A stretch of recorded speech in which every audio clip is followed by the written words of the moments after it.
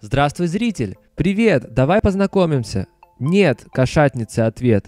Все вы, наверное, слышали распространенные шутки про сильных, независимых женщин, чья независимость меряется по шкале от 1 до 40 котиков. В некоторых случаях число пушистых няшечек в квартире зашкаливает, тогда даму можно переименовать в безумную кошатницу. Но это все не более чем стереотипы, ведь кошки настолько прекрасны, что любят их вне зависимости от пола. По секрету признаемся вам, что люди были созданы для того, чтобы котам было где жить. Чтобы разрушить все стереотипы о кошатниках, нью-йоркский фотограф Дэвид Уильямс начал свой проект «Мужчины и коты», делая портреты своих знакомых, которые делят свое жилище с усатыми полосатыми.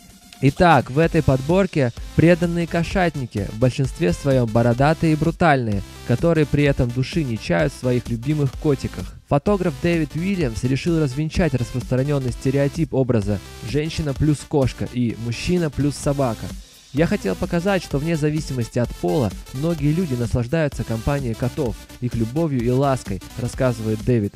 В то же время опытный женский взгляд может отметить, что у всех героев этой серии отсутствует кольцо на безымянном пальце. Значит ли это, что вся любовь этих мужчин направлена на котов?